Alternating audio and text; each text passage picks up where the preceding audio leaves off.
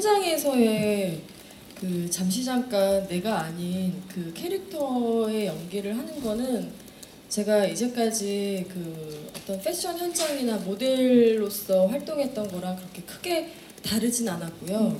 그 현장에서의 그 순간 그 레드선 되는 것들은 예 크게 다르지. 않았습니다. 하지만 이제 그 연기는 어 이제 대사 전달을 해야 되고 또 어떻게 보면 더 크고 더 이제 호흡이 길다 보니까 그런 부분에 있어서는 되게 이제 처음이었죠. 그리고 어떻게 보면 김시우 씨에게 드린 질문하고 저도 같은 좀 그 질문을 받아서 얘기를 하자면 어, 연기에 대한 좀 부담감을 처음에 좀 가지고 있었을 때 그 미스봉의 캐릭터에 대해서 되게 거침없고 남자들하고 함께 해도 어, 굴하지 않고 또 하지만 되게 또 사랑스러운 네.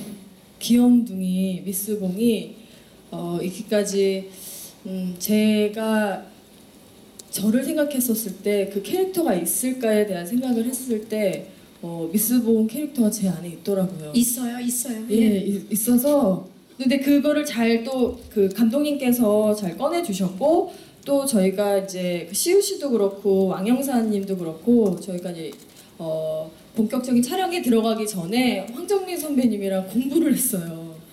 같이 대본을 놓고 그 카페에서 액션 스쿨 그 카페에 앉아서 그 이 대본을 한번 쭉 이제 봐주셨는데 reading을? 예 근데 그 reading했던 시간이 어 되게 저는 너무 행복했어요.